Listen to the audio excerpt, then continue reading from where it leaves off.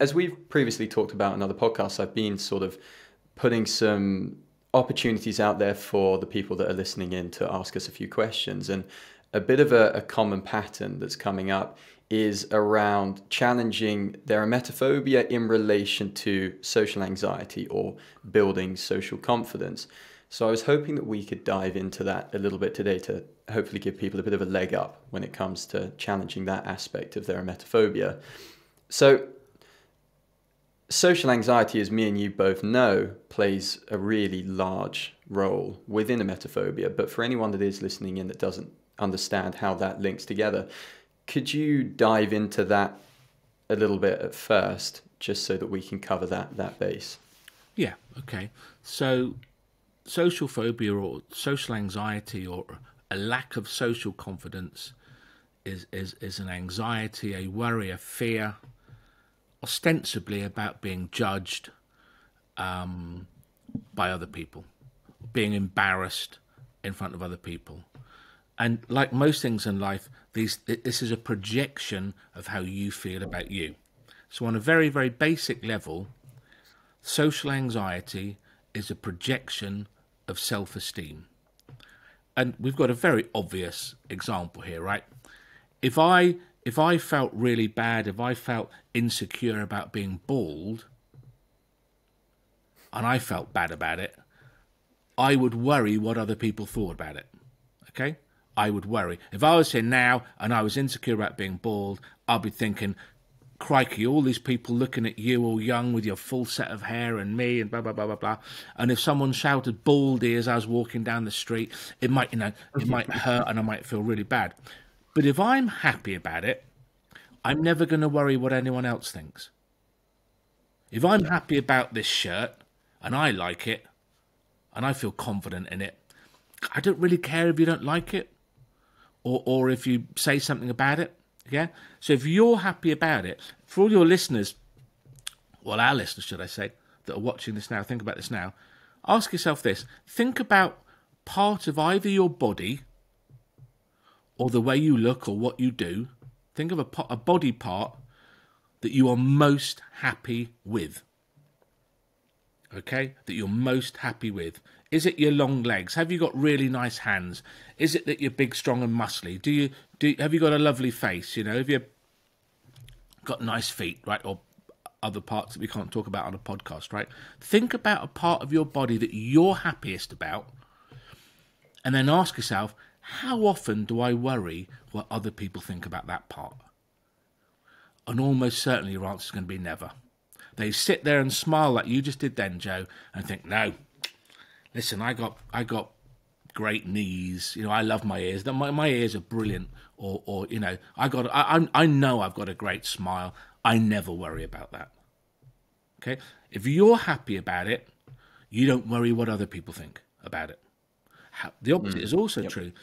If you do worry about it, you are then going to worry that everyone else is going to pick up on that or is going to see that as well. If I feel ridiculous being bald and looking like a bouncer, it's going to be on my mind whenever I'm talking to anyone else. And I might try and hide it. I might try and avoid conversations. I might try and avoid meetings and this kind of situation that we got now because I'm worrying and I'm, I'm feeling anxious that other people are out there thinking that I look like an idiot because I feel like an idiot. So it's a projection of how you feel about you. So what you find is on the TQ report, which of course we measure social anxiety and self esteem, it's like a seesaw. It's like that. Okay? So as someone's self esteem rises, their social anxiety will go down. Because as they're feeling better about themselves, they worry less what other people think. Okay. On the modern TQ report, of course, we measure them both in the positive. So we measure social confidence now, not social anxiety. So you see them both rise. But as someone's self esteem goes up, their social anxiety will go down because there's less that they doubt and worry about in themselves or about themselves that they would worry about what other people would think about it. If you're happy with you, you really don't worry very much or care very much what other people think. And if they have got something to pick on, like you're looking unshaven today, right, or something like that, Okay, you're just going to go, well, you know, I beg to differ. I'm quite happy with it, so let's move on, and it's not going to bother you at all.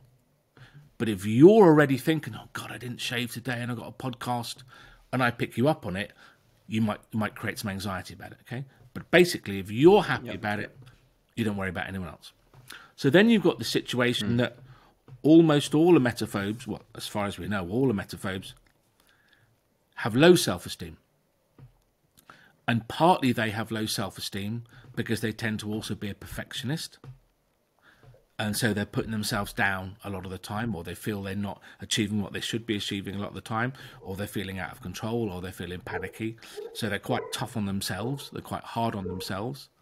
So even though almost all emetophobes are successful, motivated, driven people, their self esteem tends to be very low. Even the very, very successful, well known ones in, in film industry and in uh, celebrities and stuff that, that that you would think if I said, you know, oh, this person, you think, oh my God, her or his self esteem must be through the roof. But no, if they've got emetophobia, it's really low. Not for any other reason other than the fact that they're putting themselves down all the time or they're not praising themselves like you or I would do. They're not recognizing their successes because they're setting their sights too high. So, what you find then is self esteem, social anxiety, and perfectionism work off each other. The more a perfectionist you are, the more social anxiety you're likely to have because your self esteem is likely to be lower. The more you the more you worry about you, the more you're going to worry about other people. We talked on another podcast about um, uh, the fear of being out of control, which is essentially what any phobia is really a fear of being emotionally out of control.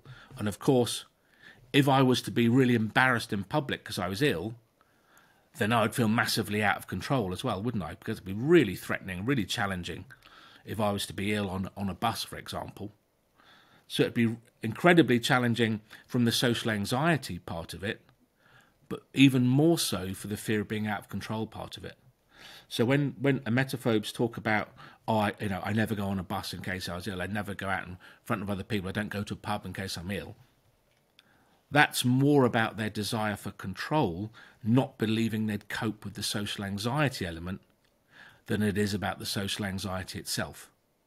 Because the biggest driver is always going to be, am I going to feel out of control? I don't believe I will cope if I feel overrun with emotions. So the biggest driver is always going to be that desire for control and the want to avoid a situation where I'm going to feel any kind of embarrassing emotions or draw attention to myself. So that then links with not feeling good enough, it links with a fear of being judged, it links with a fear of authority. Yeah? It's a massive projection of how I feel about me in my position, in my life, in the world at the moment, with this ridiculous, stupid phobia that I've got. And we talked about this before, where most emetophobes don't tell their partner, don't tell their friends. And that's mostly because of social anxiety and, and feeling out of control. If my best friend did know, are they going to try and make me ill? Are they going to try and be ill in front of me for a laugh? It's best I don't tell anyone. I feel more in control if nobody around me knows I've got my phobia, because at least it's only me then that's got to manage it. So that plays into it as well.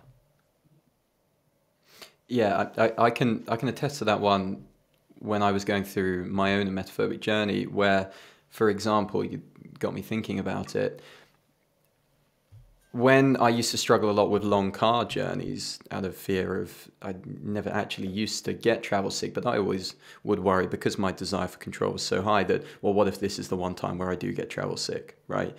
And when we used to drive abroad, because that was the only way we could possibly get over to France, because I would never hop on a, a plane flight. Sure. But I only just about felt comfortable to do long car journeys if it was with my family I would never feel comfortable and I would create significantly more anxiety if it came to going on a long car journey with a friend, even if it was just a you know a best friend, right? Someone that I knew really well, but hadn't been with me growing up, didn't fully understand my phobia. I hadn't really spoken to about it in depth. Whereas my family, you know, they'd seen it all. They'd seen me through the ups and downs and have dealt with me when I've been unwell. And so I I didn't create. It was it wasn't that much different to me in the way that I saw it to driving myself, right? Because I didn't create that social anxiety or have you that know, you know element to it. Equally, you know that your mum, for example, isn't going to put you in a situation where you're likely to be ill. Your mum isn't going to challenge yeah. you on that. Your mum isn't going to get you to eat something and put something in it that you don't like because you thought it'd be funny. You know your mum has got your back, yeah. right? So you feel safer in that environment than you would do with a friend who you mostly think they've got your back, but you know, won't have it as much as your mum would do, would she? Especially if she's seen you thousands of times over the year, frightened and anxious. You know that your mum would support you and look after you. Yeah, so I would therefore feel more in control around my mum. So leads me on to a, a good question in relation to that. Would it be possible to have high coping skills but still create a lot of social anxiety? Would, would, would that be even remotely possible? Could I have really high coping skills, say, in relation to the vast majority of my life, but then still generate a great deal of social anxiety? Yes. That's my shortest answer ever. How about that? Just a yes. Be more specific. what, Cheers, everyone. What exactly are you asking? So, if I felt like I could cope in a lot of emotionally uncomfortable environments, right? Yeah. I felt like I, you know, maybe every Sunday morning on my own, I would go and swim out a kilometer out into the middle of an ice cold lake and bob around and someone else that would be absolutely not you know I'd drown. It's going to be absolutely freezing it's going to be uncomfortable. Why on earth would you do that? But I saw it as my alone time where I could switch off and you know enjoy that sort of almost meditative state of going and doing that. But it was really uncomfortable. You will never feel and anxious yet, or stressed in a situation where you feel powerful. Mm-hmm. so if you feel powerful yeah. okay about going out and swimming a mile offshore, and whether that power is you're you're a channel swimmer, so you feel you've got really good control skills, or you're so used to it that you've got really good coping skills as well. It, it kind of almost doesn't matter. But if you feel powerful, you're not going to create stress and anxiety about it. So yes, it's entirely plausible that in every, I mean, a lot of emetophobes would say that in every other area of their life, their life is great and brilliant and doing brilliantly and successful and happy and blah blah blah. It's only in this one area, and that's because they've built both control and coping skills in that area, but haven't built it around the area about being sick because, of course, they've avoided it all their life. They've always perceived it as being too challenging and so have avoided it. So they've built up their confidence and they've pushed themselves in other areas and made themselves go out and do things but just not in that area enough because it's it's so um, frightening and stressful, and you'd the, the, you'd feel so vulnerable doing that, and that comes back to our podcast from last week about coping skills. Because when you start to think about coping rather than avoiding, in any situation, the journey becomes significantly easier. Okay, mm, when you yeah. when you stop from thinking I have to avoid, I have to avoid, I have to avoid, and think, well, do you know what? I don't have to avoid. Let me think about learning to cope. In that instant, it's a game changer. But the emetophobes have always, always, yeah. always gone for avoid, and and then suffered the you know even with avoidance, most of the time they still suffer a tremendous amount of anxiety and stress, even when they're avoiding. Yes. Yep. Yeah. So, just on the topic of social anxiety, it's something that I thought about, and it's definitely something that I've spoken about with clients before. Is sometimes I think, anyway, people, when they're reading through this, can be a little bit affronted by the idea that maybe they have a lot of social anxiety, especially if they see themselves as someone that is very sociable and likes going out and they they they enjoy other people's company and they go to parties and they they do these things and they feel like they can communicate. I feel like again, I'm just kind of going off my own basis here. When I first went through the program many years ago, is I almost felt like you were attacking me a little bit, trying to suggest that I had social anxiety. I didn't want to be seen as someone that isn't, felt like they had social anxiety. That put me in touch with some uncomfortable feelings. Right. Right. But isn't that the nature? So, isn't that the nature of social anxiety? Though? Exactly. Right. Yeah. Exactly. So in my in my eyes, before I understood about social anxiety, I saw social anxiety as just someone who is shy, right? As, right. as someone that doesn't want to socialize, right? That was my very black and white view of what social anxiety was, obviously, before I studied psychology and had any idea about anything, right? But that was that's what I saw social anxiety as. I'm not shy.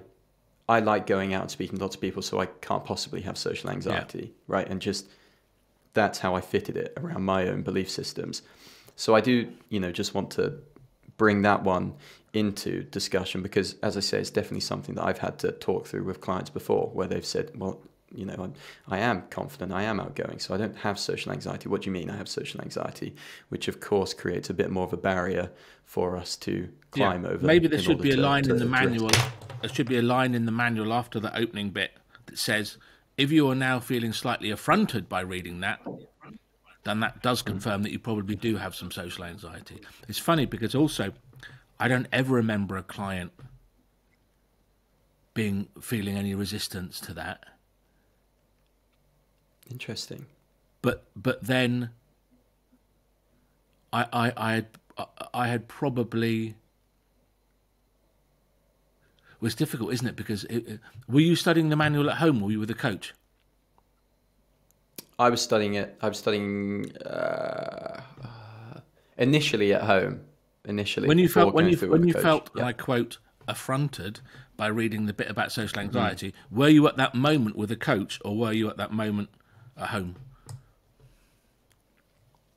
I believe at home. I mean, you are taking me back about ten years now, but I think, I think at home. So, so it could, I mean, it could it could be who you're with at the time.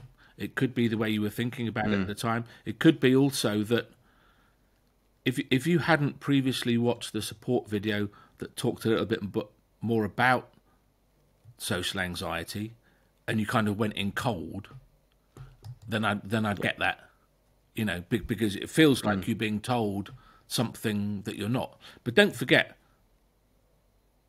everyone is challenged by two or three points as they go through because if they weren't, they wouldn't have emetophobia.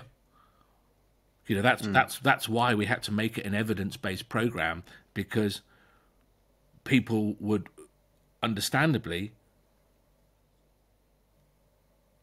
not want to argue at, every point, but you know, I, find the opposite is true. I, I found that that with clients, the biggest shock to them is realizing that their self-esteem is low. Mm, yeah. Because they come in and they're the chairman of ICI or they own Tesco's or they're a successful this, that, or the other. And when you talk to them and, and, and they get it, and because their immediate thought is, what? No self esteem? You know, do I know? Do you know what I do for a living? Mm. Do you know? You know, and when you delve into it slightly further, and they really understand that it means you know what you feel about you, they get it. But that is the nature of these things, yes. isn't it? Yeah. Um, so, leading into that, then, how can people start to go about challenging their social anxiety and start to build up social confidence? Because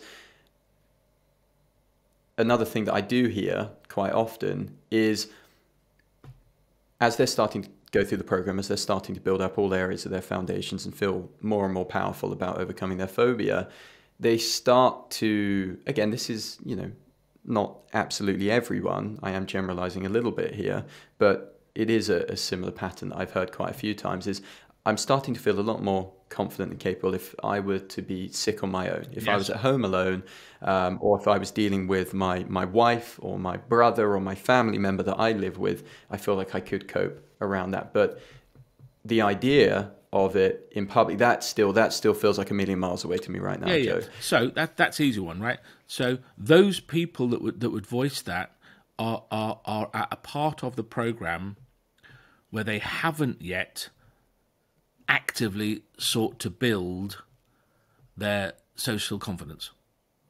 Because of course when you when you get when you get to that point where you are starting to feel better you're feeling more powerful you're feeling a bit more in control uh, and you know and 90% of that comes from understanding what was causing the phobia in the first place right? You're understanding that it's not something happening yep. to you. It was never about being sick in the first place. It's all about the way you're thinking about it when they start to get that they feel massively empowered but of course that massive empowerment doesn't defeat any social anxiety. They just feel empowered at that point. You now need to go out and do things that are going to build that social confidence. So, um, number one, really working hard on the self esteem. We know emetophobes suffer with that um, because they're perfectionists. They don't like praising themselves and, and doing the positives list. You know, a lot of them struggle when they first do the positives list, and they would say to you, "But I haven't, I, you know, I haven't cured anyone of cancer in the last week. I haven't helped an old lady across the road." And you have to explain, we're not looking for massive things. We're looking for the hundreds of small things every day that someone with high self-esteem, and I think our next podcast can be on self-esteem, so I don't talk too much. Someone with high self-esteem and good, stable self-esteem has lots of nice thoughts about themselves every day. Lots of thoughts about them uh, being a good, nice, likable, kind, worthwhile person. A person that has low self esteem doesn't have those thoughts. So it's sometimes just the absence of those thoughts. So getting to that point, if you feel that you're at this moment more confident or about the ability to cope at home but you still feel, oh my God, if I did it at school, if I did it at work, that'd be the worst thing in the world still. That's only because at that moment you haven't yet started to challenge and create some social confidence. And how would you do that? Slowly and carefully, the same way you do everything. Okay? You'd start building your self esteem and you'd start going out little bits. I wouldn't expect you to go straight out and, and go on a bus, but you could you could so you go for a walk to the end of the road, and then the next day go a bit further, and the next day a bit further, and then when you do go on a bus for the first time, just go one stop and get off. And then the next time go mm. two stops and get off. Okay? Yep. You know, this is about the exposure element to to situations. Praise yourself for having done it. Praise yourself, pat yourself on the back, recognize that you have just been on a bus and it was all right and you didn't panic. And then the next time you go on a bus, it's going to be a little bit easier because of the memory and the processing from the previous time. That graded, gradual building up your experience and your confidence in it. Because you've got to remember again, yeah. at base, this was never about being sick. Okay, so the fear mm. of going on, uh, the fear of going on the bus was never a fear of being sick on the bus. It was a fear of being emotionally out of control and terrified and anxious on the bus. Okay? So the moment your confidence level increases in your ability to cope, the anxiety disappears very, very quickly because it was never actually about the bus. You feel it's about the bus, you picture it, think, oh, I can't do that, I'm not going on that bus, there's no way I can do that. I can't get in the aeroplane, there's no way I can fly on holiday. You know, I've, I've known people, you know, who, whose family go on holiday to the south of France for summer. They all fly, but the emetophobe drives himself. takes two days to get there because mm. they don't want to get an airplane. And when they feel that huge anxiety about the airplane, it feels like it's the aeroplane creating the anxiety. But of course, it's not. It's about my confidence in my ability to cope on an aeroplane. So the moment I start to increase my coping skills and my belief in my coping skills, the anxiety starts to shrink because it was never about the aeroplane. Yes, yeah. So my, my my confidence in my ability to tolerate being burgled at gunpoint isn't going to decrease. Right? Because that's a, that, that that's a genuinely frightening situation for most people, right? Unless you're an armed police officer, right? You're a black belt in taekwondo or something, okay? Having someone kick your back door down and point a gun at you is always going to be terrifying. Okay, that's a real threat. Okay, that person, this situation could genuinely do you some significant harm. You're right to be anxious right now. Okay, but that was never about that airplane. You weren't ever actually afraid of being sick on the airplane. You were afraid of your mm. emotional reaction to being sick on the airplane or on the bus. Yep. So the moment you feel more yep. confident in your ability to cope, and only you only need that much more confident, your ability to cope, your anxiety decreases because your anxiety was about feeling emotionally out of control. It was never about being sick. And of yeah, course, yeah. So course, when you are challenging, sorry, being, go. Being sick is unpredictable, right? Managing emotions isn't. Once you've got control over your emotions, once you're able to manage your emotions, once you've got good coping skills, that's a very predictable skill set. So that's why people get better. Yeah, that's that's why people are able to overcome their emetophobia, because it was never about that unpredictable one time in every ten or fifteen years you're ill. It was always about you're you're feeling panicky and out of control and worrying about feeling emotionally terrified, anxious, vulnerable, on the spot, really embarrassed. And I, and I don't believe I would cope with those emotions, therefore I have to avoid it. So once you've made the emotions more predictable, the phobia goes. Yeah, and that's why yeah, yeah. very, very few people are terrified of being burgled at gunpoint, right? Unless they are unfortunate enough to live in an area where it happens regularly. Most people in the UK, right? It's it's so unlikely to happen. I don't think I've ever been consulted by someone with a fear of being burgled. Maybe someone that's recently been burgled and it hasn't kind of managed to calm their emotions down yet, right? Or or or hasn't processed it well yet. But generally speaking, most people in this country don't have a pathological fear of being burgled. Even though it, it's a million to one chance that it will happen, their belief is that they would cope, therefore they don't worry. If you believe you'd cope, you don't worry. Yes, yeah. So as you're building up these coping skills, and you're beginning to challenge your social anxiety because, as we've addressed, that is of the utmost importance. It's really important not to try and throw yourself in at the deep end because that it's you know that in itself would be counterproductive. You want to find your start point, your your beginning point. So if your challenge is to you're thinking, okay, I really want to sign up to that new art class. I want to go along to there. I, I, want to meet these new people. I know I'm not going to be that good at art, so it's going to be a bit challenging because there's going to be all of these other people that are more skilled than me, and I'm going to have to put up with that. And I've got to speak to all these new people. And you're getting yourself really overwhelmed, and that feels like it's at this moment in time as you're working on yourself far out of your depth. Why don't you go along with a, a partner? Why don't you go along with your boyfriend to start with? just because you start by going along with your boyfriend, it doesn't mean that you then need to carry on doing that. There's nothing wrong with tweaking the circumstances just a little bit to begin with to make it a bit more manageable. And then you can start bringing it all back to yourself and making it just that little bit more applicable. But trying to throw yourself in and get rid of absolutely everything straight away and just do it perfectly is, of course, going to be unhelpful because you're just going to spend the whole time in a massive ball of anxiety. And it only tends to be those that haven't yet overcome their perfectionism that would do that. Okay? The mm-hmm. perfectionists listening to you saying that now will be thinking, you know, I'm not going to do that. I, sh- I should be stronger. I should be able to do this. I should be able to throw myself in at the deep end and go straight in and score, you know, 10 out of 10. They'll, they won't like the idea that they've got to have someone with them, kind of babysitting them on, on, on their first few journeys to the art class.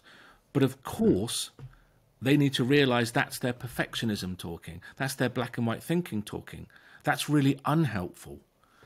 Everything is about doing it gently, okay? Slowly, gently, carefully, safely, building a skill set at a at a speed and level which is safe and okay for you. You've got to push yourself, and you've got you've got to you've got to do that, okay? But you've got only got to push yourself far enough, right? That you'd get benefit from having done it, but not so far that you're going to create so much anxiety and stress you won't do it again, and it feels like a step backwards. Like I'm yep. still doing my couch to 5k, right? How far would I need to run today in order to feel, yes, Rob, well done, you did better than yesterday, but not so far that I tire myself out or get stitched and right, I'm giving up, I'm not doing that anymore.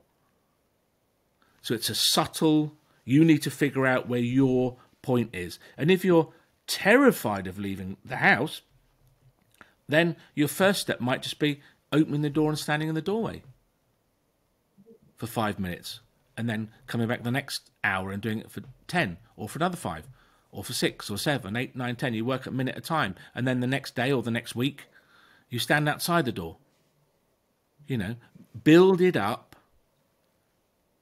You're building your confidence slowly and, and comfortably.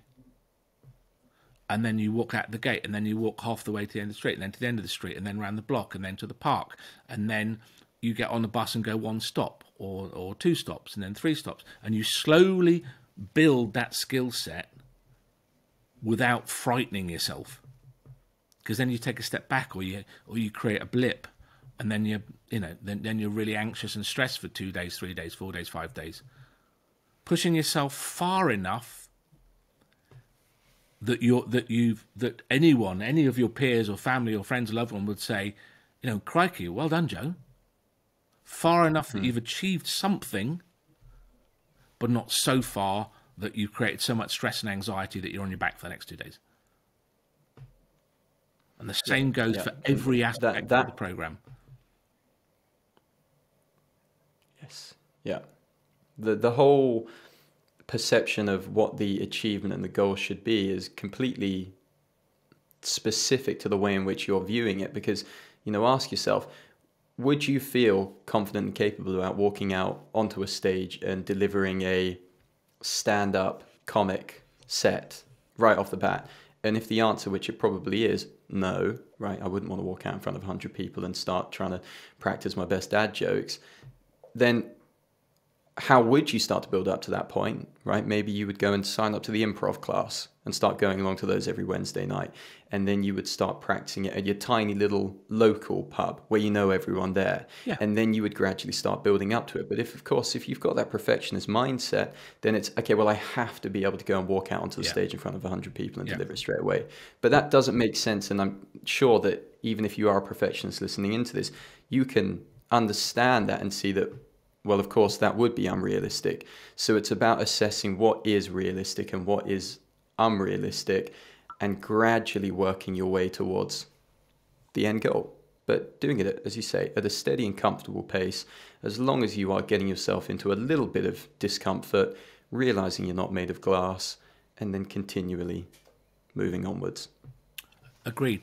One point I didn't make earlier, which I was just thinking about, was I often say, we often say that the the only major reason for the discrepancy between the percentage of females that have a emetophobia and males, as we know, it's it's you know almost entirely female. You know, the research says somewhere between like four and twelve percent males, right? Um, mm. We've uh, we've always said it is mostly down to disgust propensity, but of course, disgust propensity in a way, is a function of social anxiety. And we know that women have, a, girls particularly, have a lot more social anxiety than boys. Okay? They respond to authority more than boys do. Okay? Particularly in the UK, they work harder in school. Okay? Because of because they feel the pressure more than boys do in school, right? They work harder. There's lots more social pressures on girls to look good or look a certain way. There's much less social pressure on boys to do that. So then by the time you get to six, seven, eight, nine, ten in in the UK, Canada, Australia, America, particularly, girls suffer much more social anxiety uh, and are on the receiving end of much more social pressure than boys are. that linked with the fact that uh, um, disgust propensity is kind of linked to that is the reason why more girls, more women have emetophobia than boys. So social anxiety is that big an issue. You know, if you didn't have social anxiety, you could not have a emetophobia. Right? In the same yeah. way as you yeah. cannot create a chocolate cake without chocolate. Right? Without a lot of social anxiety, in, in, in the true nature of what social anxiety is, what we've talked about today, not a fear of public speaking, right? Social anxiety, that worry of the social press, that worry about what other people think of you, judging you, feeling not good enough, which of course is a very external thing in the first place, isn't it? It's a hugely external thing. Yep. Um, without that, you couldn't have emetophobia. Yep. Um, Rob, can you just quickly clarify just for the people listening that aren't completely aware of what disgust propensity is, what it is, so that they can make that clear link between the two.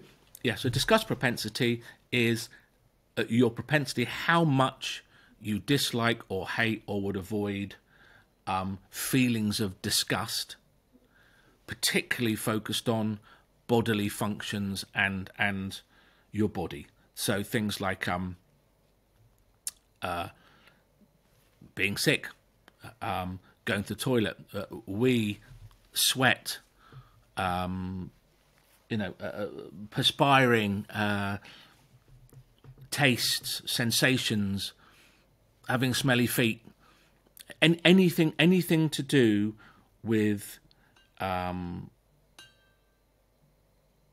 bodily, uh, mainly bodily actions that would lessen your belief that that you looked like a good girl or a lady or a or a, a good woman or a nice woman or, or anything that would detract from that, right? You know, if if you or I were having a chat here in my office and one of us had a runny nose, being blokes would probably find that funny. Okay, uh, as as a female with a emetophobia that might be perceived as disgusting. Oh, that's disgusting, Joe. Crikey, can you stop that? Okay, so that's disgust propensity. And and I'll give you a really really uh, good example. Um, you and I, not at the same time, I hasten to add, started weeing in front of other boys, probably when we are about three years old. Yeah, at Thanks the for clarifying the starting point there. Yeah, yep. I want to clarify that. Okay, I was not there when you first started doing that. Okay, but you and I started weeing, having our private parts out, and urinating, which is one of the most personal, private things a human being can do, right? And very on the spot and, and, and potentially embarrassing. We started doing that around three, three and a half years old and did it two or three times a day at play school, whatever. And whatever anxiety or embarrassment we had uh, originally about our private parts and doing something so very, very personal while watching other people. In fact, what we were really doing is playing, weren't we? we were trying, who could we the highest, who could you know, we the we the little disinfectant block further down the tube and this kind of stuff, right? So most boys are over their social anxiety about their bodily symptoms and, and their bodily fluids and their private parts before they get to kind of five, six, seven. Okay, and then we're laughing about, and then we have willy battles and, and all the ridiculous things that we do, right? Many women go their entire life and never show their private parts to another human being. Mary has never weed in front of another human being. And I wouldn't be surprised, uh, and I'm sure she'll tell me if I ask her, she probably, the time she did sleep with her husband, okay, she probably had a nightdress on or something like that. I'm sure her husband never saw her naked. Okay, because it's mm. private and it's personal and it's, you know, in this country, in the UK, it's still against advertising standards to advertise female sanitary wear in anything other than mm. a very delicate. You know, there are lots of jokes, aren't there, about tampon adverts where you see a lady cycling down the road on a summer's day or running across a, a lovely field of daisies, and that's yep. advertised tampon. And that's because you're not allowed to advertise tampons like the way they advertise nappies, which is dipping it in a bowl of red fluid and say, look how good these sanitary towels are.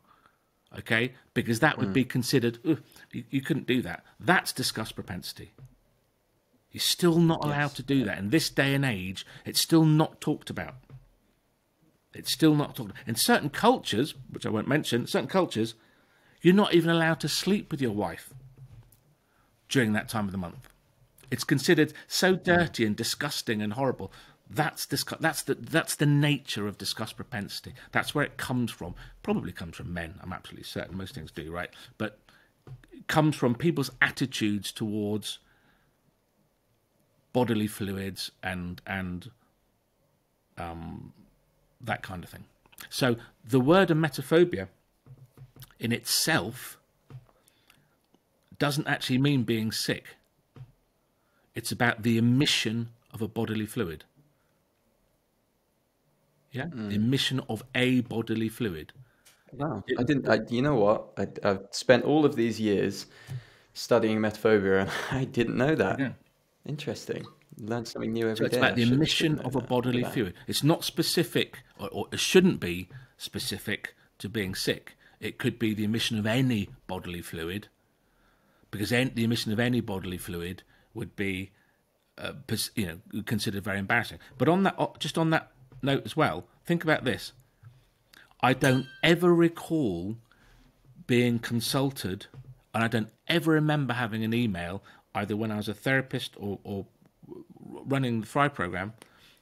I don't ever recall having an email from someone or or help needing help from someone who had coprophobia. Okay, which is hmm. fear of losing bowel control, the fear of shitting in public or spontaneously. Okay, now you would have thought, right? If you ask anyone that hasn't got a emetophobia, if one of those two things had to happen one day on the train, which would you, which would be the worst? Most people would say shit, because most people that haven't got a emetophobia definitely. would perceive would perceive poo as a far more embarrassing, excuse me, disgusting thing than vomit. But they're missing the point. It's not hmm. about the bodily fluid. It's not about the bodily function. Okay, hmm. it's about feeling emotionally out of control. Okay, and you don't tend to feel emotionally out of control, even if you had diarrhea. I've never, I've never ever heard anyone consult a therapist for a fear of diarrhea. Even though, how embarrassing was that if it happened on the train? Yeah, Yep. it's it's it's not about being sick. It's not about going to the loo. It's about those thinking styles and those beliefs and, and desire for control and fear of being out of control, and how powerful you feel and social anxiety and self esteem and disgust propensity and the higher levels of social anxiety and and, and the the physiological feelings of feeling out of control if you're going to be ill. Fantastic. Okay, thank you. I feel like we've given some really beneficial insights there around all of those elements. So I hope you've taken something from it. Anything else you want to add, Rob? All happy on my end? Uh, if if people are finding this interesting and they have social anxiety, I'd suggest they watch the the podcast from last week on on building coping skills because it's essentially the same thing. Yes, yep. You don't, you know, you you you can start to overcome social anxiety. You don't have to focus on overcoming your anxiety in relation to being sick. You can you can focus on overcoming social anxiety and building social confidence in any socially confident situation okay? It it, it could be you know um learning to do public speaking. It could be e- even just posting some stuff on on TikTok. Exposing yourself to social situations that you wouldn't normally do tolerating the discomfort processing it well and kind of moving on from there. One of one of the guys one of the thrive coaches i took through a few years back wasn't from emetophobia but there was some social anxiety there and he worked in london. And i said okay every every day for the next couple of weeks when you get off the tube the first homeless person you see i want you to give them a couple of quid but also i want you to squat down on their level and have a chat with them. I don't just mean say have a nice day. I mean actively engage in a conversation while all your suited colleagues are walking around you looking at you thinking why is that guy talking to the homeless guy? And he overcame a tremendous amount of social anxiety by doing it. Blindy, one of our coaches, who's not practicing at the moment because she can't see at all now, but but um, Blindy um, overcame a tremendous amount of social anxiety when she went to the Thrive program because her coach got to do two things, really simple things. One is to put a spelling mistake in every single email she wrote for two weeks. She had to do it on purpose and tolerate it. Another thing she had to do was wear odd socks for two weeks. Okay? Mm. And putting herself directly in the line of fire from wearing odd socks to work, right? One pink, one blue, and by repeatedly sending out several emails a day with a spelling mistake in, knowing that as a perfectionist, she'd be really annoyed with herself for doing that, and knowing that someone reading it is going to see that, and just learning to tolerate those feelings, she overcame a tremendous amount of social anxiety and built lots of confidence from that. Yeah. Okay. You know what the uh, the the first the, the the base layer and the first one that I always get my clients to challenge because it's one that you know anyone can do is you know when you're walking down the street and you walk by someone and you see the the classic lips pursed eyebrow raised nod the that right yep. instead of doing that make firm eye contact and just say hi and then scurry off yeah. right and then build from there you know, force yourself to say hello and then keep developing from that point. Yeah. Force yourself to not just glance down at the concrete as you walk by them. Anyone can do that one, uh, right? Because and for, for some people, it's going to put them in a lot of discomfort absolutely. initially. And but don't, and don't, go from there. And, and don't forget, right? This is this is this is not just one way. It's a plus and minus thing. Every time you avoid doing that, you're building more social anxiety.